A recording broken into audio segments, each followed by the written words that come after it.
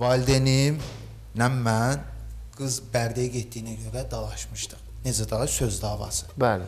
Mən orada yeri gələndə Quran gətirin, nə gətirirsiz gətirin əli basaram da. Aha. Video ilə də sübutum da var, onu da verə bilərəm sizə. Bəli.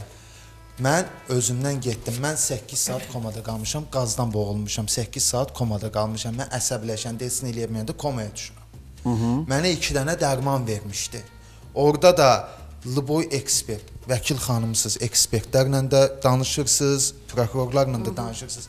Hansı gic insan video çəkdirdirə, sonra da verilişə çıxar.